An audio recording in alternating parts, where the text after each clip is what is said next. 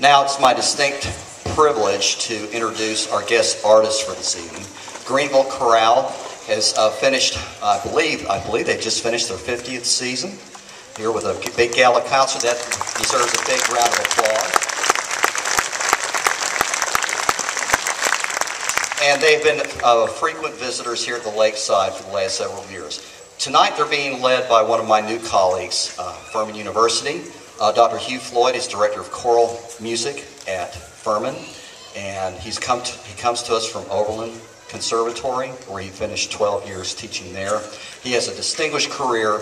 We are very fortunate to have him, and you're going to enjoy getting to meet him and getting to know him. Would you please welcome my good friend and colleague, Dr. Hugh Floyd.